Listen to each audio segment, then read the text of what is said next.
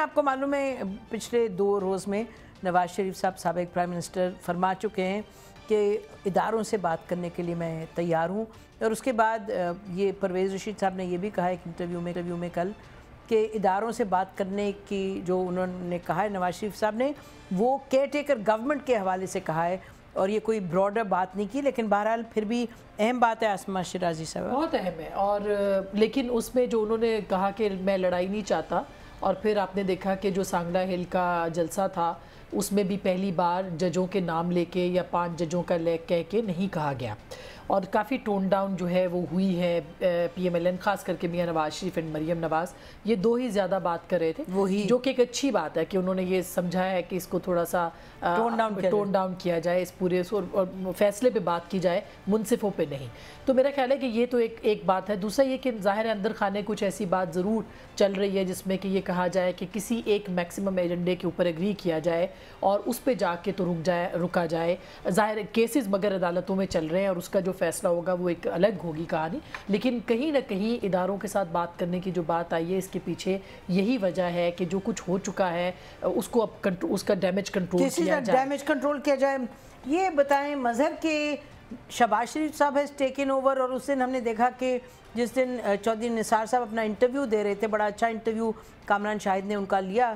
اور اسی دن شباز شریف صاحب اپنی جو تقریر کر رہے تھے، تو دونوں ایک ہی بات کر رہے تھے، وہ کہ بات اداروں سے کرنی چاہیے، لڑائی نہیں کرنی چاہیے، اور شباز شریف صاحب نے تو کافی تفصیل میں کہا، اور پھر یہ جو بات آسما کر رہی ہیں نواز شریف صاحب کے حوالے سے، تو ہم کیا دیکھ رہے ہیں؟ کوئی چینج آنے والا ہے؟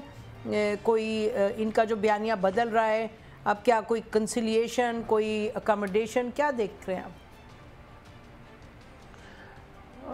نظیم میرا خیال ہے مسلم لیگ نون بہت مشکل صورتحال میں ہے۔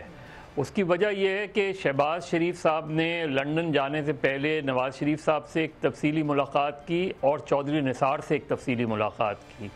وہ چودھری نثار اور نواز شریف کے درمیان ایک مڈل مین کا کردار بھی ادا کر رہے ہیں۔ اس لیے کہ یہ جو سچویشن ہے، یہ بہت زیادہ ایگریویٹ ہونے جا رہی ہے۔ مسلم لیگ نون کی اپنی سچویشن جو ہے۔ اور نواز شریف صاحب کو یہ اندازہ ہو گیا ہے کہ انہیں اگلے الیکشن سے پہلے کوئی کسی قسم کا ریلیف کے چانسز جو ہیں وہ تقریباً ختم ہو چکے ہیں۔ اور واحد ان کی جو جیت ہے وہ یہ ہو سکتی ہے کہ مسلم لیگ نون الیکشن جیتے۔ وہ الیکشن اس صورت میں مسلم لیگ نون جیت سکتی ہے جب وہ یونائٹڈ رہے۔ وہ یونائٹڈ اس صورت میں رہ سکتی ہے جب تک یہ یہ اور شہباز شریف کا بیانیہ جو ہے وہ بنیادی طور پہ یہ ہے کہ دیکھیے اس وقت سپریم کورٹ سے آپ بہت آگے تک جا کے کانفرنٹریشن نہیں لے سکتے۔ جہاں جسٹس ثاقب نثار ہیں کل جسٹس آصف سعید کھوسا ہوں گے اس کے بعد جسٹس گلدار ہوں گے۔ آپ کہاں تک لڑائی لڑیں گے؟ مسلم لیگ نون کی کامیابی اس صورت میں ہے کہ مسلم لیگ نون ڈیولپمنٹ کی سائٹ پہ اور دوسری سائٹ پر جائے تاکہ پارٹی تقسیم نہ ہو۔ ایک بڑا اہم مرحلہ ہے کہ دیکھیے ٹرائکا وہ اگر آپ آپ کے نظر سے گزرا ہو کہ جو چودھری نثار شہباز شریف اور نواز شریف صاحب کی ٹرائکا تھی وہ بریک ہو گئی ہے۔ اس اس میں اب مریم نواز صاحبہ اور پرویز رشید صاحب آ گئے ہیں۔ تو آپ نے یہ دو دو اسٹرانگ لوگ۔ ٹھیک۔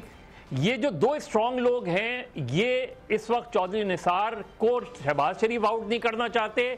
اور چودھری نثار کو پرویز رشید اور مریم نواز صاحبہ غالباً واپس نہیں دیکھتے کیا ہوگا؟ مذہب بالکل آپ نے بڑی اچھی طریقے سے ایکسپلین کیا۔ چودھری صاحب آپ کچھ کہنا چاہ رہے تھے میں صرف یہ کہنا چاہ رہا تھا کہ یہ جو معاملہ چل رہا تھا قاضی فائز عیسیٰ صاحب کے بارے میں چیف جسٹس صاحب پہ بہت زیادہ دباؤ ڈالا۔ ہر ایک نمائندے نے میرے جیسا بندہ بھی جو الیکٹ ہونے کے پورا سال بعد سال تک ایک ہی جا کے ان سے گزارش کی کہ یہ جو آپ کے ججز کے ریفرنسز ہیں سپریم جوڈیشل کونسل میں ان کو فل فور ڈیسائیڈ کریں۔ ہم یہ نہیں کہتے کہ ان کو سزا دیں۔ اچھا ناظرین یہ آپ نے سنا کہ چودھری صاحب کہہ رہے ہیں کہ انہوں نے اس لیے کیا کیونکہ ان پر یہ پریشر آیا تمام باہر سے کریں۔ ہاں جی۔ اور انہوں نے اعلان کیا کہ جون تک میں فیصلہ میں آ کے انہوں نے یہ کیا ہے جو کہ کرنا چاہیے ان کو۔